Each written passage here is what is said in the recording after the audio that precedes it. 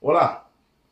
Por que algumas pessoas têm grande dificuldade em evoluir no aprendizado de cavaquinho, enquanto outros desenvolvem rapidamente seu aprendizado?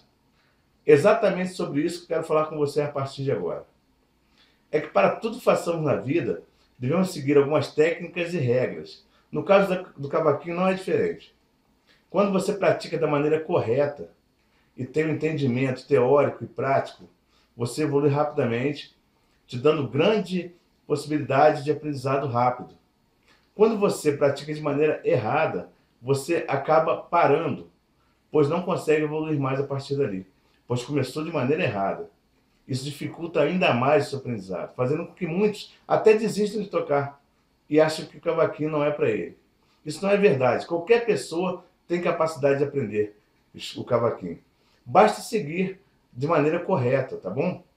Para isso, criei uma série de vídeo aulas